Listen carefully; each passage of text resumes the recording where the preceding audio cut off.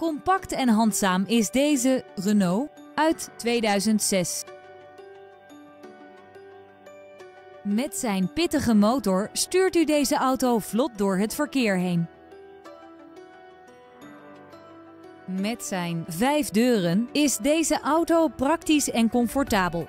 Daarbij is hij voorzien van airconditioning, een boordcomputer en elektrisch bediende ramen. Tevens wordt deze auto geleverd met nationale autopas. Hebben we u nieuwsgierig gemaakt? Bel ons nu voor een proefrit.